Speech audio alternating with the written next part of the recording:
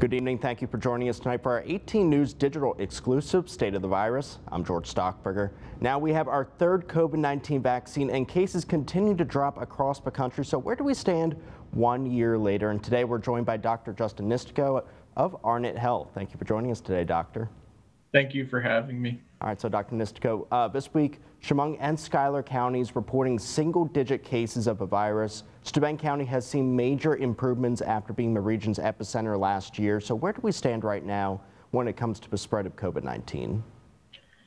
We're starting to see the reduction in community acquired spread with the virus due to the rollout of the new vaccines and the vaccines that we've had a lot of cases that we've seen in both the hospital and outside in the community, the numbers of questions and concerns about having active infection have declined. We've seen the numbers of active cases declining, and the rates of hospitalizations and deaths from COVID 19 have also been declining in our region, which is excellent. Um, and that really is a testament to both patients doing appropriate social distancing, wearing masks, and also uh, people getting vaccinated, which has been great.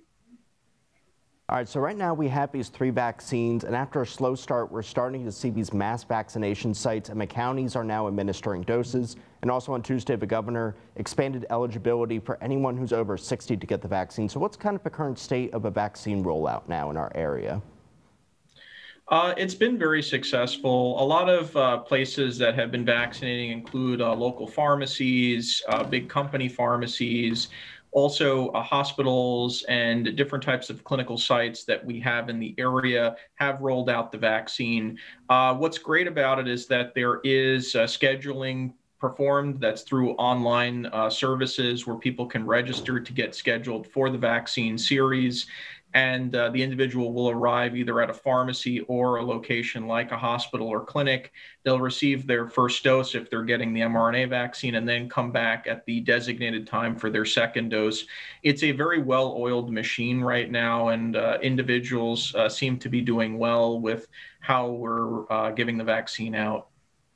So, of course, we talked about before but Johnson & Johnson vaccine is just that one shot so is that the major difference between the first two that came out before and are the side effects going to be any different for people that do get the Johnson & Johnson versus a Pfizer or a Moderna vaccine?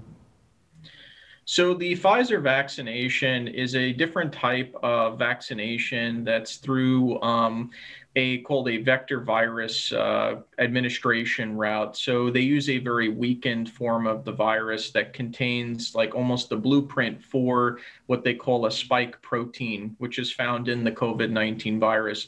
The mRNA viruses, uh, mRNA vaccines, uh, rather, is the uh, the difference is that it's non. There is no virus at all inside of those vaccines. They are two shots versus the one shot, which is Johnson and Johnson. But side effect profile is still to be determined for Johnson and Johnson. Per the CDC's gathering of data, really what they've only seen has been um, some arm soreness. Uh, they have seen some fever, chills, and some achiness. Uh, but um, you know, in terms of side effect profile, it seems to be uh, slightly better. But also, we've had less time with the Johnson and Johnson vaccine. Also, with the Johnson and Johnson vaccine, what's important to know is that it's the goal of the Johnson Johnson vaccine is not to prevent COVID-19, even though it can do that. It's it's to prevent severe cases of COVID 19 that require hospitalization and also to prevent death, which it has done significantly well, uh, especially after four weeks of receiving it. So once you get the shot and four weeks go by, you're at that maximum potential to be protected against hospitalization from a COVID 19 infection and death. All right, Doctor, we're going to go to our first viewer question here about the Johnson & Johnson shot. Barbara in Wellsburg is asking, can you get blood clots from these shots? And again, there have been a lot of rumors about these vaccines. So is it true that you could develop blood clots from a Johnson & Johnson vaccine?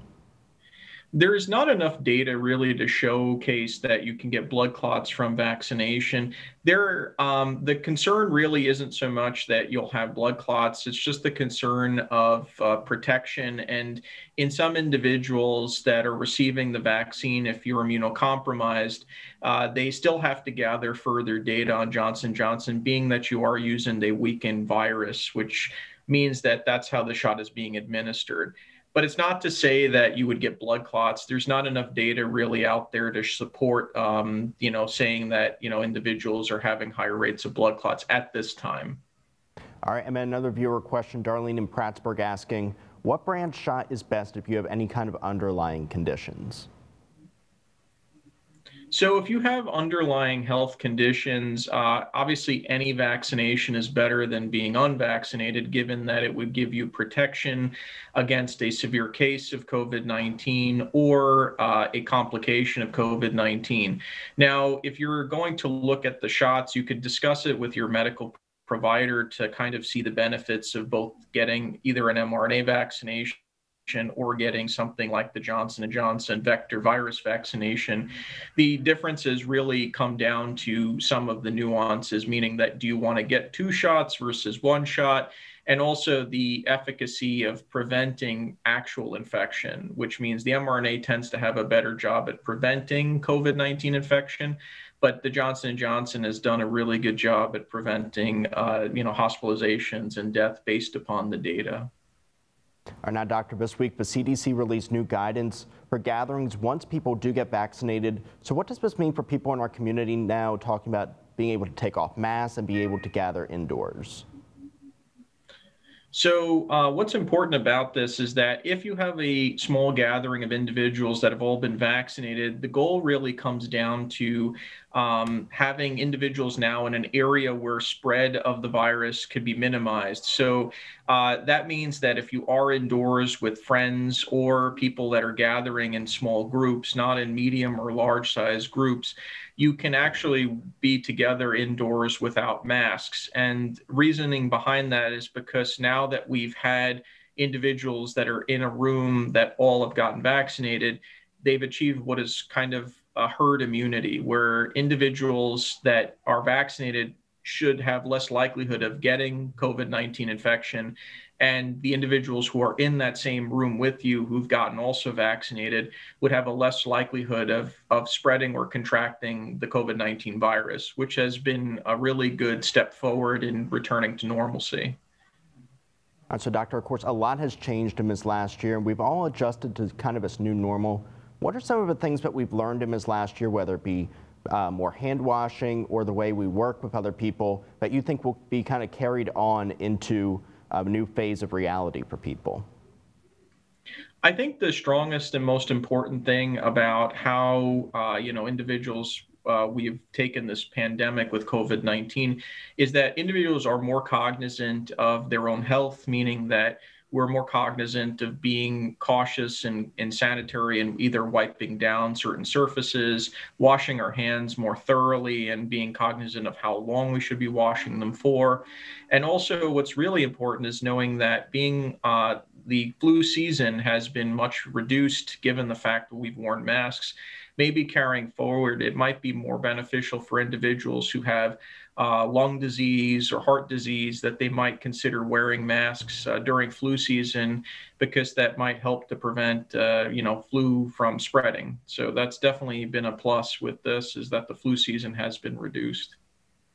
And that's actually my next question. We talked about before the flu cases are down this year as well as flu deaths. So is this something we're going to see just in the future during flu season? Is everyone just wearing a mask because it's been so normalized? I think that's definitely uh, a possibility. I feel that most people that uh, would you know have like say if they got influenza they could have a very severe case of it uh, we've seen much reduced cases and to be honest with you it has removed the stigma of wearing masks where people would question is that considered uh, safe, normal, or you know, being almost fearful of wearing the mask. Now that we wear masks, uh, you know, routinely in in society, I think in the future, if even if the mask regulations have been lifted, if someone were to wear a mask because of concern for, you know, their own health and worry about flu, I think it's going to be less likely viewed as a concern, uh, more so than just as a safety precaution for that person. All right, finally, Doctor, we've, we've talked a lot in these last four or five months while, film, while filming State of the Virus about what we need people to know, uh, whether it was about stopping the spread of the virus or now getting the vaccine. I mean, at this point in the pandemic, what do we really need people to know? The most important thing that individuals should know is that um, our return to normalcy uh, with this COVID nineteen pandemic is is almost uh, it's it's it's getting there. I think uh, what we really need to do in society is that we should uh, be mindful and open minded about receiving uh, COVID 19 vaccination to help others as well as help ourselves kind of get past this pandemic as well as continuing to perform social distancing and mask wearing for now when we're in public spaces. Uh, because we're still uh, in the fight of, with COVID 19. But we could see with our efforts and we could see with the importance of, of how, you know, the vaccine seems to be working and, you know, the warmer weather that we're starting to see outside we're starting to get past some of the, I guess, the uh, the doldrums or the the down points of the pandemic, mm-hmm. and we're starting to see some benefit and some light at the end of the tunnel. All right, that's great to hear. Dr. Nistico, thank you so much for joining us today. And viewers, if you have a question about COVID-19 or the vaccine that you would like one of our local experts to answer, email us at news at wetmtv.com. Thank you for joining us and have a good night.